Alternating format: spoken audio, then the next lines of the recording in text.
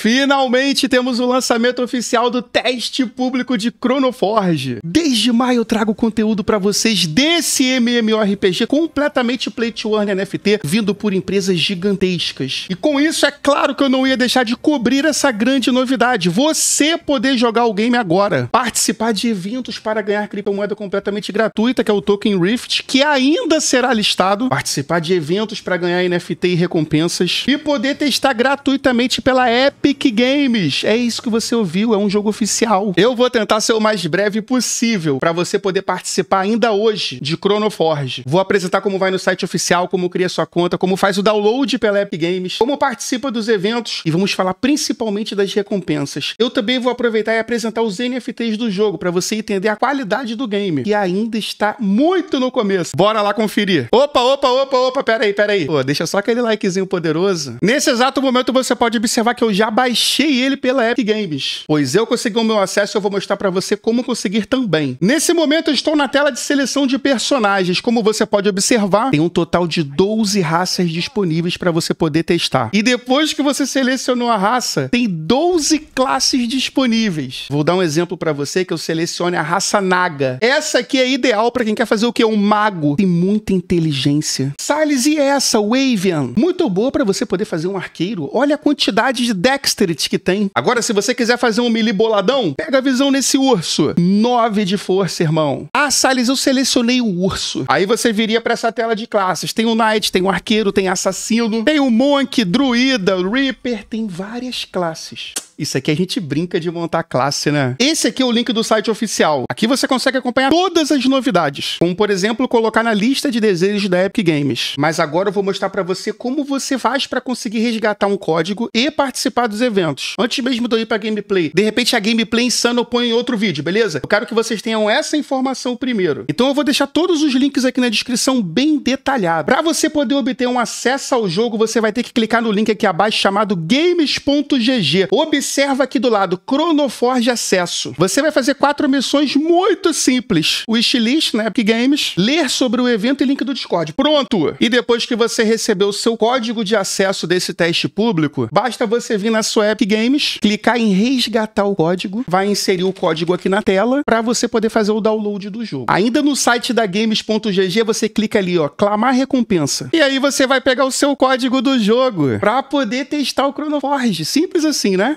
De ir pro jogo, presta bastante atenção aqui agora. Presta muita atenção mesmo, porque eu vou falar da parte de ganhos. Falei, esse vídeo é muito importante para você, né? O Chronoforge estará disponível ao público na Epic Games por uma semana de testes, até o dia 6 de novembro, incluindo uma escala de competição de 500 mil tokens Rifts e recompensas. Como obter o acesso, não tem dúvida, já mostrei para vocês. Game GG completa as quests, pega o código, linka na Epic Games. Download do jogo, sorria. Olha esse detalhe. A partir de 30 de outubro, também haverá uma missão bônus que colocará você num sorteio de um NFT aventureiro. NFT. Dentro da OpenSea, preço básico do NFT hoje: 0.3 Ethereum. Uma bagatela aí de 820 doleta. Dentro da OpenSea você vai encontrar outros NFTs, como os pets, as naves de guerra, como você pode observar. Tem também as lentes, Rift Pass e muito mais. E se você quiser saber sobre equipamentos, armas e armaduras, dentro da Token Trove, você também consegue negociar. Observação importante: para você ter direito à recompensa, você tem que conectar sua carteira ao jogo antes das 19 horas do dia 6 de novembro. Conseguiu acesso, baixou o jogo, criou seu personagem. Olha o menu inferior esquerdo, Wallet. Quando você clicar nele é onde você vincula sua carteira. Uma observação muito importante: é um rush de up evolução. Então essas recompensas são para os top 200 players. Ah, Salles, top 200, Salles, eu vou ter que upar muito. Se quiser recompensa, sim. Se não quiser, você vai jogar o game, vai conhecer o game para aguardar o lançamento oficial. Nada mais justo que a recompensa seja para quem ruxa mais, para quem possui NFT. Puxa, Salles, quem possui NFT tem um pouquinho de vantagem? É claro que tem. O NFT pode valorizar, pode desvalorizar. A pessoa compra e ela tem que ter algum retorno. O jogo dá um retorno como? Um multiplicador de ponto. Bora continuar conferindo. Aqui vai falar da premiação. 500 mil tokens serão distribuídos entre os 200 melhores. Aqui na classificação tem do primeiro ao décimo a quantidade de token Rifts e até até o do centésimo, mil tokens Rift. É, qual o valor do token Rift, Salles? Ih, rapaz, eu não sei. Eu tenho certeza que também ninguém sabe. É, pois é, só quem jogar vai poder ter a oportunidade de dropar, se ficar bem classificado, e tomara que tenha um valor substancialmente interessante. Fica ligado nas missões bônus na games.gg. Como eles estão em parceria com o Chronoforge, eles vão continuar trazendo evento até o término desse teste público, então participe. É gratuito! Aqui vocês podem conferir que há cinco meses atrás eu avisei vocês dos primeiros testes com inúmeras recompensas. Aí você vai querer perder esse teste agora? Duvido. E agora um evento bônus que surgiu aqui no Discord oficial do Chronoforge. Uau, quer um que completar esta missão receberá 10 mil Chronopontes e entrará num sorteio de NFT aventureiro. Então dá um pulinho aqui no Discord oficial para você participar. Show? É muito importante você saber que este jogo é focado em raid quest, build para você poder evoluir suas classes, forja para você craftar equipamento. Eu nem vou entrar no critério de parceiros, tá? Depois eu falo isso no outro vídeo. São vários. Salles, e se eu não conseguir um acesso? Pode ser que eles liberem uma quantidade maior. Preste atenção aqui no que eu vou lhe falar. A quantidade de acessos para esse teste público é limitado, justamente para gerar qualidade e uma disputa entre essas pessoas para essas recompensas. Então tenta ser ligeiro para pegar o seu código. Nem que você não jogue, forneça para alguém que queira jogar. Eu tenho certeza que alguém vai querer. Salles, aquilo lá acabou as vagas, Salles. Provavelmente, se os servidores estiverem estáveis, eles devem liberar mais vagas. Fique de olho. Show, Salles, conseguiu acesso. Colocou o wishlist na Epic Games, baixou o jogo, colocou o seu código, tá tudo certinho. Tá ligado nos eventos na Game GG e no Discord oficial. Agora é só jogar, concorda comigo? Primeiro passo, vinculou sua wallet, crie sua classe. Não se preocupe em escolher a classe mais OP. É um jogo para jogar em equipe. Tem bosses aqui que são dificílimos e você não vai conseguir jogar sozinho. Força é principalmente para os personagens que vão jogar com a classe de combate corpo a corpo. Dexterity e agilidade, de preferência se você for um arqueiro. Não que você não possa jogar com outra classe. Inteligência, que é focar em ataque mágico. Salles, eu vou focar em vitalidade com força. Eu quero fazer um tanker. Eu quero fazer um personagem híbrido. Você pode. Selecionei aqui a Naga. Fica legal eu fazer um Knight com a Naga? Não, não fica legal. Bloqueio, redução de dano, contato corpo a corpo, ela tem muita inteligência. Não que o Knight não seja.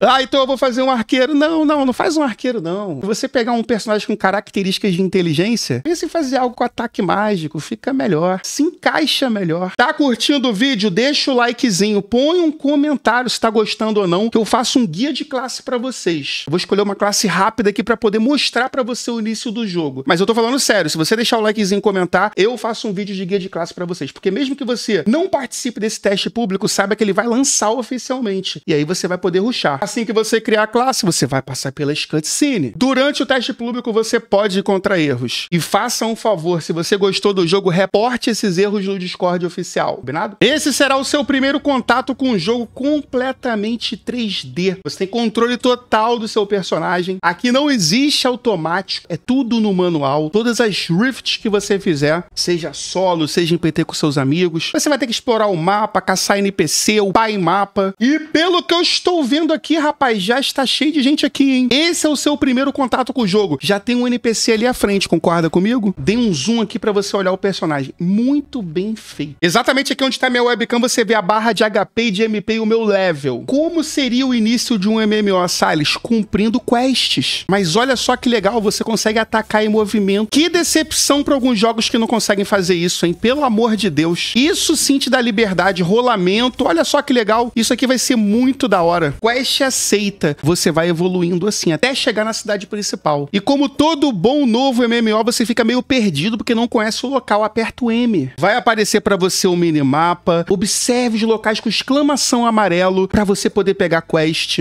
Aqui acima aparece as quests que você está realizando. E ainda aproveitando esse menu, você consegue observar outras informações, como por exemplo a sua bag, todo o seu equipamento, seu inventário, as estatísticas que cada equipamento tem, seus atributos, seus buffs e seus stat points. Aqui no stat point é onde você vai buildar o seu personagem. Lembra, quer fazer classe mágica, inteligência, sorte, praticamente para todos os personagens. Para alguns é foco, vitalidade para o tanker, força para quem vai atacar corpo a corpo, dexterity para quem ataca a distância, desde que não seja mágico, árvores de habilidade onde você vai presetar suas skills. Menu social, você monta pare para jogar com os amigos, convida amigos, busca pares. Menu configuração, você consegue diminuir a textura do jogo para aqueles que estão jogando numa máquina ruim, antiga, ainda não teve a chance de trocar. Você pode mudar aqui o gráfico. Outro detalhe importante para o jogador mais antigo. Aqui você muda suas teclas de atalho. Eu mesmo mesmo mudo todas as minhas teclas de atalho, porque eu jogo no mouse. Você também tem opção de regular a câmera. Com o scroll do mouse você consegue tomar distância, você também consegue se aproximar. E aí, irmão, partiu para você poder completar suas quests. Dá uma olhadinha no minimapa que ele vai te dar um norte. Durante o caminho você já vai encontrar alguns mobs. Se você quiser partir para dentro dos mobs, passa. Matei um mob, já peguei um drop dele ali.